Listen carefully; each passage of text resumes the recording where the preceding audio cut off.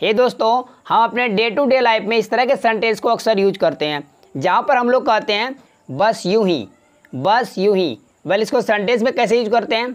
और इसका स्ट्रक्चर क्या होगा? वेल ऐसे फ्रेज को सेंटेंसेस में किस किस तरीके से बोल सकते हैं? सभी चीज़ों को कॉम्प्रीहेंसिवली इस वीडियो में जानेंगे। उससे पहले मैं आप लोगों से रिक्वेस्ट करना चाहूँगा यदि आपने मेरे चैनल को सब्सक्राइब नहीं किया तो मेरे चैनल को सब्सक्राइब कर ले, क्योंकि आप में से 70 परसेंट जो है, दोस्तों ने मेरे चैनल को अभी तक सब्सक्राइब नहीं किया है तो प्लीज़ सब्सक्राइब कर दीजिए, ताकि मेरे रोज़ आने वाली वीडियो की नोटिफिकेशन बिल्कुल टाइम पर मिलती रहे और लाइक भी किया कीजिए। बाय द वे हम लोग मेन टॉपिक पर आ जाते हैं। मैं तो बस यूँ ही पूछ रहा था तुमसे। मैं तो बस यूँ ही चिढ़ा रहा था। मैं तो बस यूँ ही बोल रहा था। कोई पूछेगा, तुम यहाँ क्या कर रहे हो? तो आप बोलिएगा बस यूँ ही मज़े कर रहे हैं और सम टाइम कोई पूछता है तुमने मुझे कॉल क्यों किया था? तो आप कहते हैं बस यूँ ही कॉल किया था आपको बस यूँ ही कॉल किया था आपको। इस तरह का सेंटेंस को आप कैसे बनाइएगा? सबसे पहले बात करते हैं बस यूँ ही। वेल well, इसको इंग्लिश में बोलते हैं जस्ट कैजुअली जस्ट कैजुअली इसका जो यूज़ है इस फ्रेज का हम लोग दो अलग अलग तरीके से कर सकते हैं। आइए देख लेते हैं पहले स्ट्रक्चर देखिए।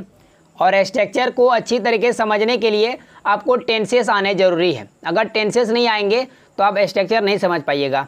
तो सबसे पहले सब्जेक्ट राइट कीजिएगा। अगर हेल्पिंग वर्ब की ज़रूरत हो तो हेल्पिंग वर्ब लगाइए। नहीं तो नहीं लगाइए। उसके बाद आपको राइट करना है just just casually just casually को राइट करने के बाद वर्ब राइट करेंगे। अब टेंस के हिसाब से जो भी फॉर्म आएगा V one V two V five V four जो भी आएगा, उसको राइट कर देंगे। वर्ब को राइट करना है। उसके बाद अदर वर्ड को इट मीन दैट ऑब्जेक्ट को राइट कर देंगे। ये तो वह पहला तरीका। आप इसको और एक तरीके से बना सकते हैं।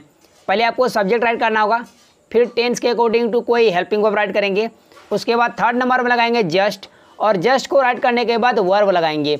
वर्ब अगर कॉन्टिन्यूस टेंस में होगा तो आईएनजी फॉर्म में लगेगा मतलब बी फोर लगेगा।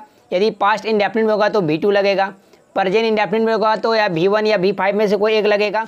और उसके बाद ऑब्जेक्ट को राइट कर देंगे। और लास्ट में लगाएँगे कैजुअली कैजुअली को यहाँ पर लास्ट में राइट करेंगे। तो दोनों तरीके से आप बना सकते हैं। आपको जैसे अच्छा लगे, आप उसको उस तरीके से बोल सकते हैं। आइए देखते हैं सेंटेंस और आपको बेटर समझ में आएगा। मैं तो बस यूँ ही पूछ रहा था तुमसे। वाली सेंटेंस के लिए कहेंगे I am just asking you casually I am just asking you casually और इसको ऐसे ही बोल सकते हैं I am just casually asking you I am just casually asking you यह पॉइजन कॉन्टिन्यूस है सेंटेंस नेक्स्ट सेंटेंस को देखते हैं। कोई आपसे पूछेगा, तुम उसे क्यों चिढ़ा रहे थे? तब आप बोल सकते हैं, मैं तो बस यूँ ही चिढ़ा रहा था।